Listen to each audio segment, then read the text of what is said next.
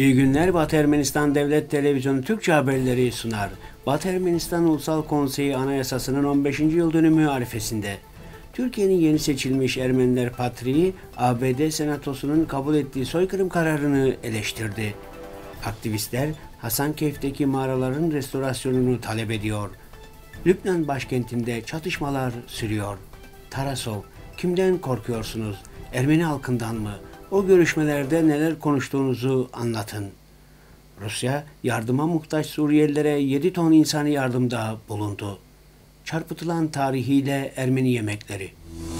Batı Ermenistan bir yıl çalıştıktan sonra Banyo'da bulunan Batı Ermenistan'ın Ulusal Konseyi kurucu üyelerimiz özellikle Hraç Bilibosyan, Guy Kaşanyan, Nunik Norhatyan, Brigitte Node ve diğerleri 2004'te gece gündüz toplantılar, çeviri ve araştırma yaparak Ermenistan Cumhuriyeti ve Artsakh ile sonsuz telefon ve çoğu zaman iyi işlemeyen internet görüşmeleri yapan diğer arkadaşlar 8 Kasım 2004'te Batı Ermenistan Ermenilerinin Ulusal Konseyi'nin kurulmasına ve bunu 17 Aralık 2004 tarihinde Şuşi'de ilan etmeye karar verdiler. Ayrıca o gün 17 Aralık 2004'te Gomidas Danielyan, Aşot Balayan, Komutan Vitali Balasanyan, Albay Vaçagan İşhanyan ve o sırada resmi temsilcisi olduğum Arsa Savaşçılar Örgütü'nden birkaç savaşçının katılımıyla birlikte Şuşi'nin Sırp Kazançetovski Lisesi'nin önündeydik ve beraber ekteki resmi duyuruyu okuduk. Daha sonra bu bildirinin yayınlanmasını kutlamak için Albay Vaçagan İşhanyan'ın mekanında bir araya geldik. Aynı gün törende yer almayan birkaç kişi bize katılacaklarını duyurmak için bizi aradılar ve böylece Batı Ermenistan Ulusal Konseyi'nin çekirdeğini oluşturma sorumluluğunu üstlenen yaklaşık 50 kişi Avrupa, ABD, Rusya, Orta Doğu, Cavak, Ermenistan Cumhuriyeti, Artsakh ve Batı Ermenistan'dan bize katıldılar. Batı Ermenistan Ulusal Konseyi bugün 15 yaşında. Batı Ermenistan ve onun sürgündeki halkı için 15 yıllık askeri hizmet ve direnişimizi iki dayanakla yerli kimliğimiz ve tüm büyük güçler tarafından tanınan Batı Ermenistan Devleti'nin egemenliğiyle devam ettirmekteyiz. Batı Ermenistan Ulusal Konseyi kendi doğrultusunda olağanüstü erkek ve kadınlarla karşılaştı ve bunun tam tersi de oldu.'' Örneğin Patrick Saak Maşalyan'ın ABD Senatosu tarafından 1915-1923'te Ermenilere karşı uygulanan soykırımın tanınmasının ahlaksızlık olduğunu iddia ettiği son açıklaması gibi. Burada bu tanımanın neredeyse tamamen Batı Ermenistan Ulusal Konseyi'nin kuruluş bildirgesinin 11. maddesiyle tutarlı olduğunu hatırlatmak isterim. Madde 11 Ulusal Konsey 1894'ten 1923'e kadar Türklerin işgal ettiği bölgede Batı Ermenistan vatanında Türk ardışık hükümetler tarafından Ermenilere karşı uygulanan soykırımın uluslararası tanınmasını ister. Ayrıca Sevr Antlaşması'nın 100. yıl dönümü arifesinde Batı Ermenistan Ulusal Konseyi Başkanı olarak halkımın acılarını anmak için Maşalya'nın beyanlarının ahlaksız olduğunu ilan ediyorum.'' Çünkü ABD Senatosu'nun Ermenilere karşı uygulanan ve 1915-1923 tarihleri arasında işgal altında Batı Ermenistan topraklarında gerçekleştirilen soykırımın tanınmasını şüphe altına koymaktadır. Ve Patrik Saak Maşalya'nın Ermeni milletinden özür dilemesini ve derhal istifa etmesini talep ediyorum. Dünyadaki bütün Ermenileri birleşik cephelerle Türkiye'nin ardışık hükümetlerinin komplolarına karşı durmaya davet ediyorum.'' Ayrıca Ermeni milleti için en iyi yol Türkiye'nin soykırım politikasına öfkesini ifade etmesi ve böylece 1920'de Sevr'de imzalanan Uluslararası Barış Antlaşması'nın 100. yılını anmasıdır.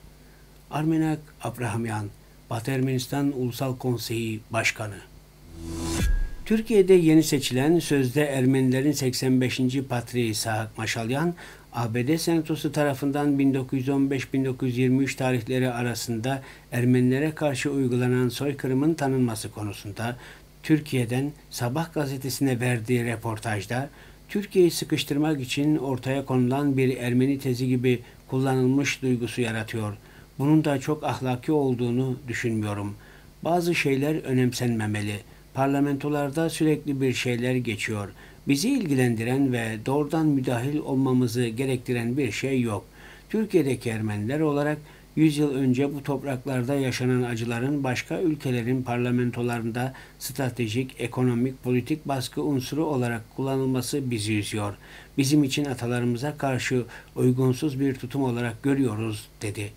Maşalyan, Türkiye halkının konuyu kendi başına çözebileceğini ve Türkiye ile Ermenistan Cumhuriyeti'nin ilişkilerini iyileştirebileceğini umduğunu belirterek, her iki tarafta konuşamadığında üçüncü ve dördüncü taraflar konuşma hakkını talep ediyor.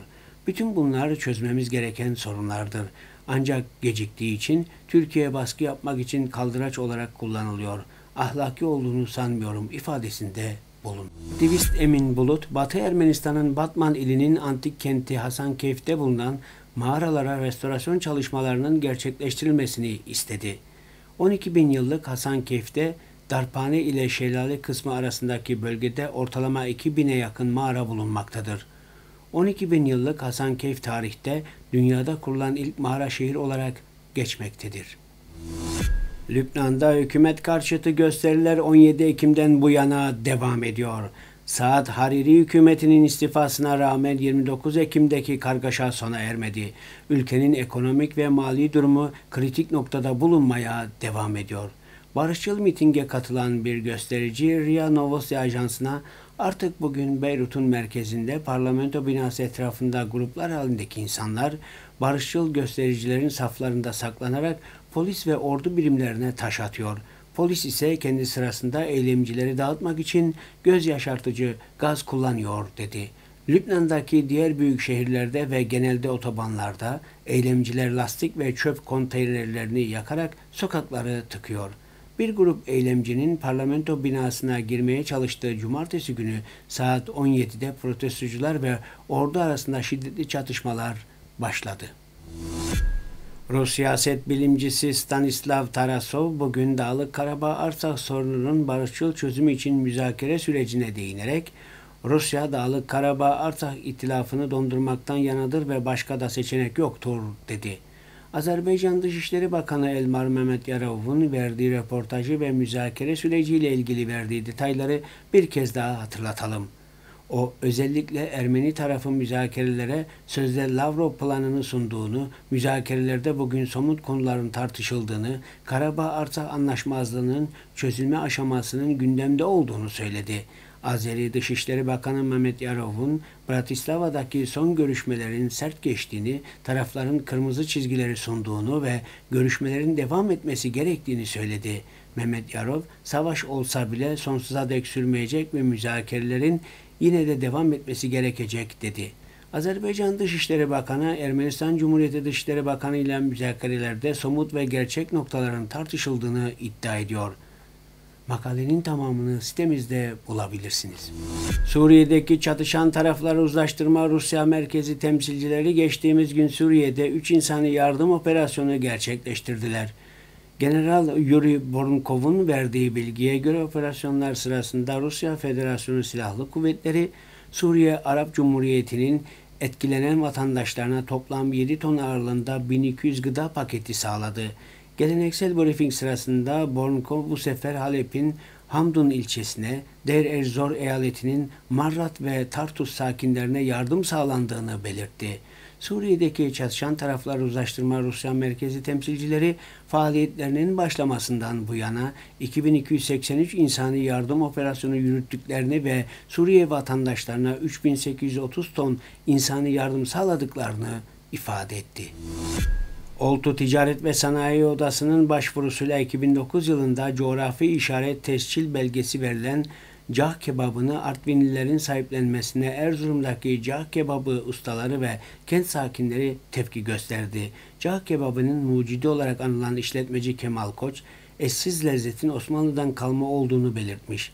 Bilirsiniz nerede faili meçhul bir yemek olursa son dönemde ona Osmanlı'dan kalma deniyor.'' Kayseri ve Kastamonu arasında pastırmanın ana vatanı tartışması ve dolmayı Ermenilere kaptırmayız hezeyanlarının ardından bu kez sosyal medya cağ kebabının Erzurum'un mu Artvin'in mi olduğunu tartışmaya başladı. Ermenice cağ metal şiş mil demek. İnanmayan Nişanyan sözlüğüne bakabilir. Erzurum yani Garin, Ermeni krallıklarına ev sahipliği yapan, daha sonra Osmanlı İmparatorluğu'nun Batı Ermenistan bölgesinde merkezi Erzurum olan 16 sancaklı Erzurum vilayeti. Batı Ermenistan'ın yoğun Ermeni nüfusuna sahip vilayetlerden olan Erzurum'un 19. yüzyılın ilk çeyreğinde Ermenilerle meskun Erzurum, Bayazet, Şabin Karahisar, Babert, Yerzinka, Sıper, Dercan, Hanus, Kıhi, Hasankale, Kelkit, Tamzara, Horasan, Mıjinket adında 14 şehri, yüzlerce köyü vardı. Bu köylerin büyük kısmı hala Ermenice adları ile anılıyor. Bu vilayetteki Ermeniler ticaret yapar, zanaatla uğraşırdı. Hayvancılık yapar, bağcılıkla ilgilenirdi. Ermenilerin kiliseleri, okulları, evleri ve hayatları bu toprak üzerine kurulmuştu. Kebap da yapardı tabi Ermeniler. Yatık döner gibi dizerlerdi etleri. Tartışmalar devam ederken Artvin Ticaret ve Sanayi Odası Başkanı Seçkin Kurt, odun ateşinde yatık döner için patent başvurusunda bulunduklarını ifade ederek Artvin'i tüm dünyaya doğanın başkenti olarak tanıtıyoruz demiş.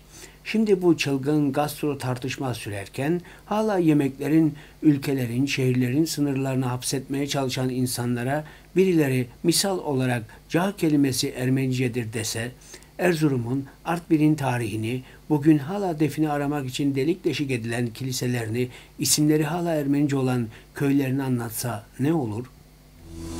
Bugün için bu kadarını öngördük. Şimdi size Gomidas Vartabet'in 150. doğum yıl dönümüne adanmış Nairyan Vokal Ansabl'ın seslendirdiği eseri sunuyoruz.